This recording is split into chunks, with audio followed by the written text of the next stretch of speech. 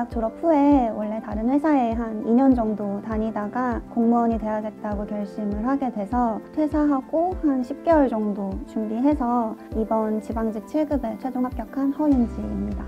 최종 합격했을 때는 큰 시험에 합격했다는 성취감이 가장 컸었고 그리고 최종적인 직장을 얻었다는 안도감이 개인적으로는 가장 컸고 어, 무엇보다 부모님이 저보다 더 기뻐하셔서 굉장히 뿌듯했죠. 공세로 오기 전에 다른 학원에서는 강의만 듣고 그 이후에 자습은 다른 독서실로 옮겨서 진행을 했었는데 공셀에서는 자습이랑 강의를 한 공간에서 한꺼번에 할 수 있어서 굉장히 효율적이었던 것 같아요. 그리고 무엇보다 이제 교과목 선생님들이 항상 상주하고 계셔서 편할 때 언제라도 질문할 수 있어서 좀 더 모르는 부분도 빠르게 해결할 수 있었던 것 같아요. 공세에 오기 전에는 개인 독서실에서 자습을 했었는데 아무래도 혼자 자습하다 보니까 뭐 핸드폰 만질 때도 많고 좀 인터넷으로 다른 걸 할 때도 많이 있어서 공부 시간이 좀 뺏기게 됐어요. 그런데 공셀에서는 담임 선생님이 계속해서 관리를 해주기 때문에 그런 방해 요인들을 굉장히 효과적으로 차단할 수가 있었고 쉬는 시간이랑 공부 시간을 구분 지어주는 타종 시스템이 있어서 공부의 흐름을 관리하는 데도 도움이 됐던 것 같아요. 공셀 수업에서는 개관을 하는 숙강의, 본강의, 그리고 문제풀이 위주의 압축 강의로 수업이 이루어지는데 한 번의 수업으로 내용을 세 번 회독할 수 있다는 점이 이해하는 데 도움이 됐고 무엇보다 압축 강의 때 최신 문제를 저는 풀어봤는데 그때 최신 유형까지 파악을 할 수가 있어서 내용을 이해하는 데 굉장히 도움이 됐던 것 같아요.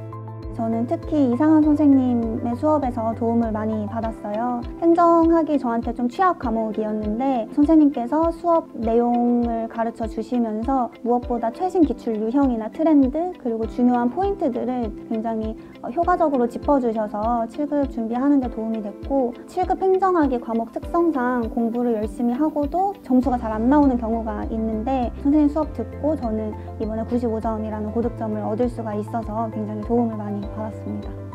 저는 원래 공부하면서 질문이 많은 스타일은 아니어서 평상시 공부할 때 질의응답을 많이 하지는 않았었던 것 같아요. 근데 이제 시험 보기 일주일, 이주일 전에 끝까지 헷갈리는 개념들 그리고 시험 현장에서 좀 당황할 수 있을 것 같은 그런 개념들을 정리하면서 선생님들께 질문을 좀 드렸었는데 그때 마지막에 효과적으로 내용을 이해하는 데 질의응답이 굉장히 도움이 됐고 무엇보다 제가 필요할 때 선생님들께서 계셔서 그 시스템이 가장 좋았던 것 같아요. 일일 테스트는 국어, 영어, 한국사 이렇게 세 과목에서 단순 암기가 필요한 내용들을 매일 50문제씩 그리고 토요일마다 250문제를 누적해서 시험을 봤는데 단순 암기가 혼자 해서는 잘 안 될 때가 많은데 테스트를 통해서 하니까 저도 굉장히 단순 암기 내용을 이해하는 데 도움을 많이 받았었고 하프 모의고사 그리고 월간 풀셋 모의고사를 보면서 제가 공부해온 실력을 꾸준히 주기적으로 점검할 수가 있어서 그 부분이 도움이 많이 됐던 것 같아요.